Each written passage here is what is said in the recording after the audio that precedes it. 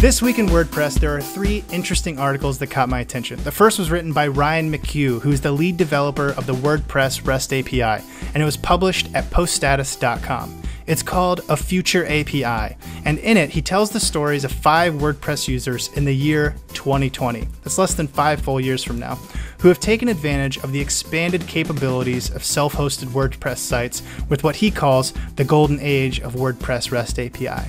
I'll highlight two of those stories. The first story explains how Jack, a YouTube user of the future, will, thanks to the WordPress REST API becoming part of WordPress core, be able to use a simple share button under the share section of a YouTube video to securely post his to his personal self-hosted WordPress site as easy as if he were trying to share to Facebook. Then we have Jill, a mobile developer, who, thanks to the integrated WordPress REST API, is able to create an app that anyone can purchase and use to securely publish photos from their phones directly and seamlessly to their self hosted WordPress website, with WordPress.org playing the secure middleman between the app and all registered WordPress.org users. This is pretty cool stuff, the kind of stuff that I gotta admit, I'm pretty excited about personally. I mean, I even wrote an article about this on the Elegant Themes blog back in April, which I'll link to in the video description, along with the other articles that we talk about here. But just to make sure that we're on the same page, uh, let me explain to everybody what the WordPress REST API is before we talk about it.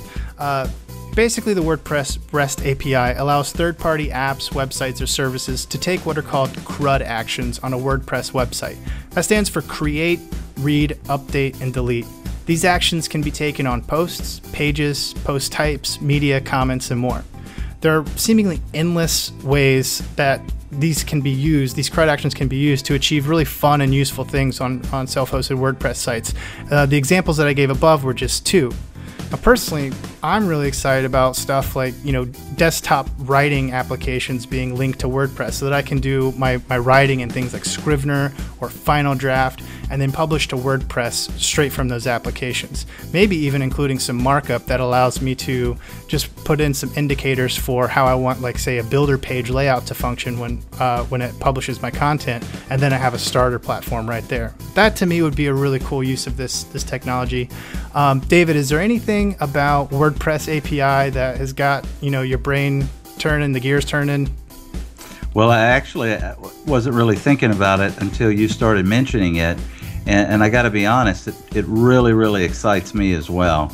Um, the ability to integrate my website with users, you know, much like a mobile app or or any device, you know, such as we have today, it sounds like fantastic technology, and I'm all for it.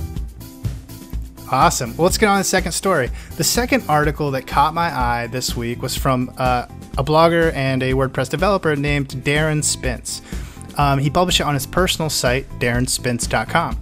The article is called Lessons Learned from Writing a Premium WordPress Plugin. Now, without going into all the details, the lessons that he learned were as follows Number one, version one is always terrible.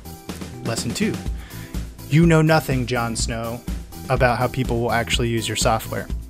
Lesson three, open source is your friend. And finally, lesson four, you'll become an addict. Now, David, you recently launched a plugin that we'll be talking about later, and I know um, I didn't go into a ton of detail with why these lessons uh, were what they were for uh, for Darren, but can you relate to any of the things that he mentioned?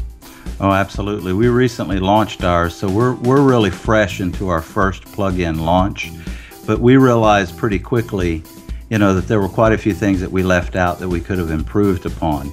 Um, we also what impressed me the most is that if you would have asked me two years ago, you know, do you think you'll be developing WordPress plugins software?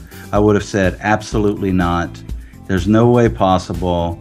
You know, you know, I, am not that technical. I can't do it, and I, I, I'm here to tell you: do not be afraid to try it. It's not as, as hard as you think it is. Be willing to learn. It's just like learning WordPress um, it's been it's been a great ride so far. Awesome. Is there uh, a lesson besides the four that he mentioned that you might that you've come across?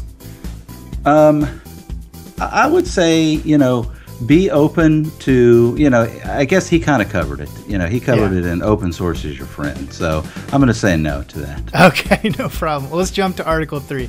Uh, the third article is actually a massive series of articles that's being produced over at code.tutsplus.com called The Beginner's Guide to WooCommerce. Now, when I say massive, I, I really mean massive. This post series has 21 posts and counting.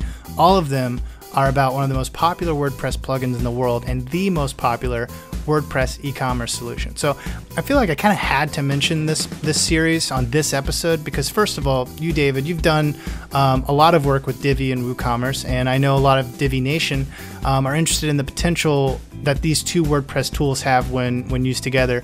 Uh, can you tell us a bit about what it was like getting started with WooCommerce and and using it with Divi? It's terrifying. it was absolutely terrifying. Um, So it you know, justifies over 21 posts. it justifies well over 21 posts. Um, what, what my personal experience, I feel like I don't know if I'm the best person to ask this question because my experience with WooCommerce and cutting my teeth with it is with Divi. And, and my experience is that I have found that there has been zero conflict with these two platforms and they work really, really well together. There's not been anything that a client has needed to do or that I've wanted to do with the two platforms that I have not been able to achieve. Uh, there's great documentation out there and um, lots of people willing to help as well. Well, that's all for this edition of This Week in WordPress. If you'd like to read the articles we discussed, you can find them linked in the video description or within the blog post over at elegantthemes.com for Divi Nation Episode 2. Don't forget, if you're watching this video on YouTube or Facebook, take a moment to subscribe, follow, like, and or share. It really helps. Thanks.